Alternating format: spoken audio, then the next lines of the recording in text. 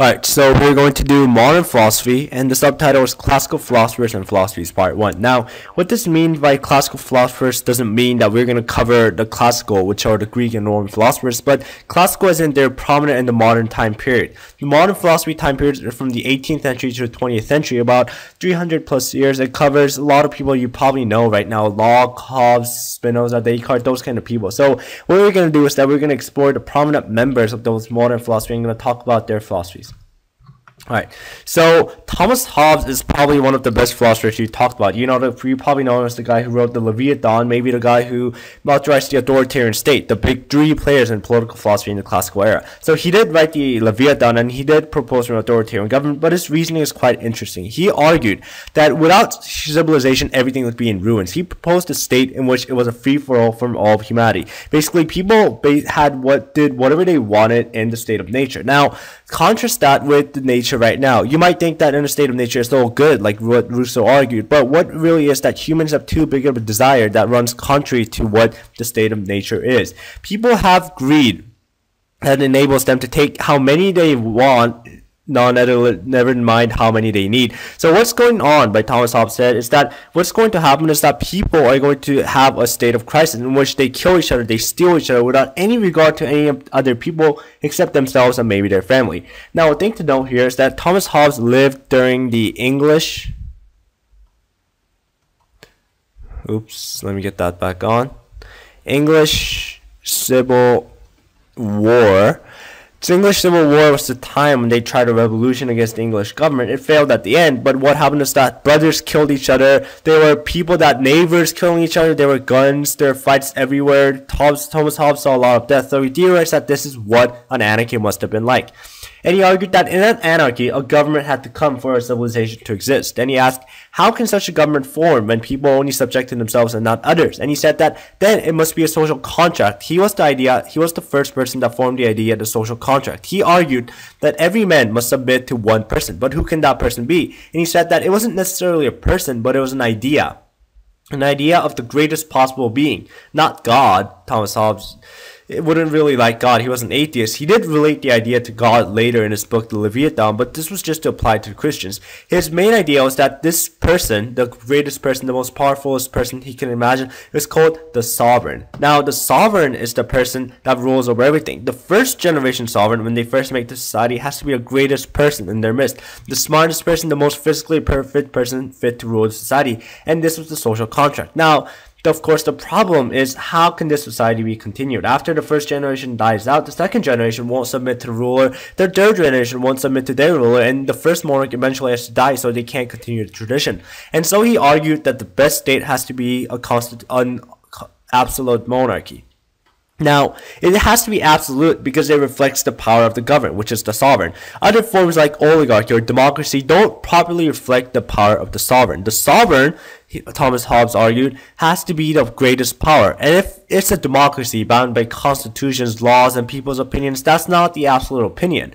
What Thomas Hobbes said was that the absolute power, the ruling power, must accurately reflect the power of the sovereign as much as possible. So it has to be an absolute power. It has to be a monarchy because if it's not a monarchy, there will be a fight to see who would get the throne after the first generation died. Of course, now the monarch would by definition be the smartest, the strongest, the physically and psychologically most fit person. So what he's going to do is that he's going to do everything best for the society. If you're already reflecting on the values of an absolute country, absolute sovereign, then you need then what's gonna be the best form is that you're going to have the at best things do done for the country. Since he's running the country, it's not going to be good for him if his country of ruin by economical or health related or war related reasons. So what he said was that this monarch would be the smartest person in the community and he would do only the best things for that society. And the continuum of the society could be then resolved because the monarch would solve it by choosing the best possible successor.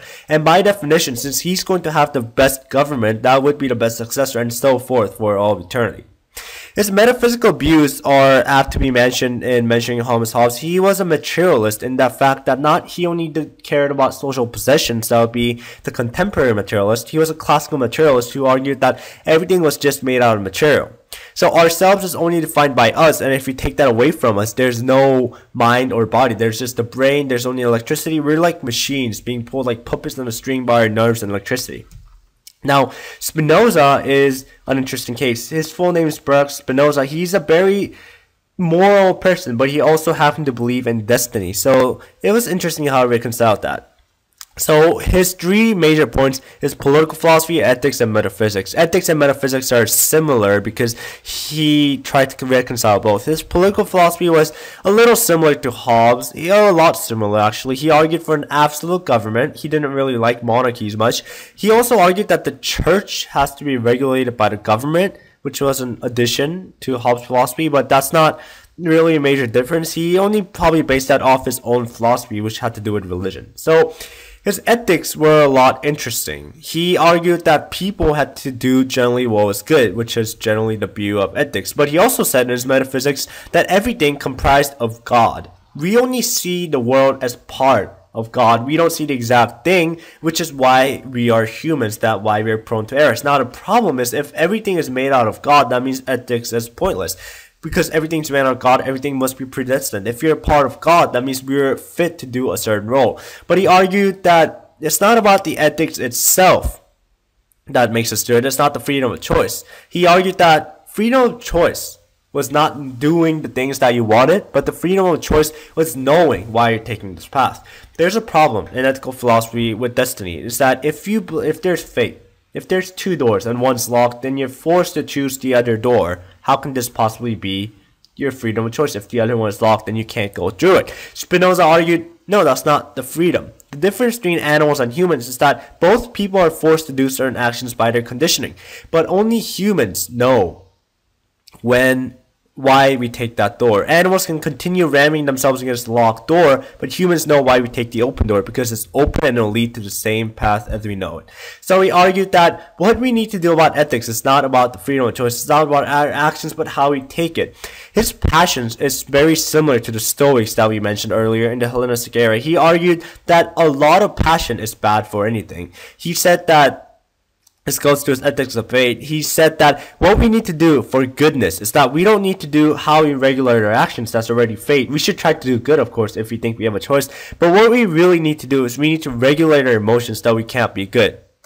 The problem with the Stoics was that he they took everything way too seriously. They said that even if his mother died, the Stoics didn't like grieving because they said that it couldn't personally affect them except emotionally, and emotionally was a bad thing. But Spinoza was a little softer in that he reconciled it by saying that emotions are good only in the fact that they live and leave an impression. They can't continue to govern our lives forever. So what we need to do is that we need to take those emotions and we need to control them. Kind of like the Stoics, but not as extreme. Then he argued that the ethics of fate, ethics of fate, then is perceiving the goodness not the passions which cloud our judgment and emotions which makes us do things unsensibly, but the ethics of fate had to do with us knowing that is good and following that it is. It is a very complicated doctrine, and his books are written in a way that is slightly boring. He uses geometrical proof that you have to prove exactly what he says, but that's his philosophy, and it is somewhat coherent. The last person that opposed Spinoza would be, not the last person that opposed Spinoza, but the last person in this presentation who has opposed Spinoza be Leibniz. You probably know him as the inventor of calculus along with Newton, but he also did a lot of philosophy as well. So Leibniz also argued that God was the only being, but instead of saying that we are all part of God, Leibniz said that we are made of little monads. Now monads, it's difficult to picture what monads are. Leibniz defined it as a one person or one being or anything that actually contains it. Imagine a space when there's millions of stars that never interact, can't ever be with each other or do anything in a physical or mental way. That would be what monads are like. Monads, those little stars represent one of us. And what we are is that we're trapped in the container and our perception of the society would be what it is like in the star. We don't know what it's like. And Leibniz argued then that the only way universe could actually function would be the God taking all the monads and functioning them together because monads can't interfere with each other. If two little spheres bump into each other, nothing's gonna happen inside. So we argued that God has to moderate everything. He gave four proofs of God, which is important in the post um, medieval doctrine, the ontological proof, the cosmological proof, the eternal truth, and the pre-established harmony. The ontological proof has to do with the definition of perfection. Other people also mentioned it, but Leibniz, I think Leibniz perfects it in this point. He says that the ontological argument is that God is a perfect being, and by definition, he has to exist, because by definition, existing is more perfect than not existing. That is a debatable point because later thinkers have argued on the point of perfect. We'll cover that later in Immanuel Kant, but he argued that that's why God must exist. In the cosmological proof, he argued that everything's cause must have everything to for it to exist must have a cause outside of itself. For example, if there's the universe, then it must have a cause pertaining outside itself that must cause the universe. It's simply a better way of phrasing Thomas Aquinas' proof of God that we covered, but it does it is harder to refute. He argued that, that that hand must be God. He also pointed out that that has that only means there's a creator, not necessarily the most perfect being. But he did that it is a coherent proof in that there has to be a being outside of the universe who caused the universe, and Leibniz argued it was God. He argued also argued for eternal truth. This is the fact that everything some things are eternal. And he argued that but the universe is not eternal. It's finite. Therefore there has to be some eternity somewhere in the universe outside the universe and that contradiction could be only solved by god. And he also argued the pre-established harmony dubbed it the psychotheological argument. And Leibniz did say that the only way to accept this proof was only by believing in his philosophy. If you accept that monads are actually the part of the universe, then you also have to accept that God can only be the being that could cause the interaction between the monads and for us to exist.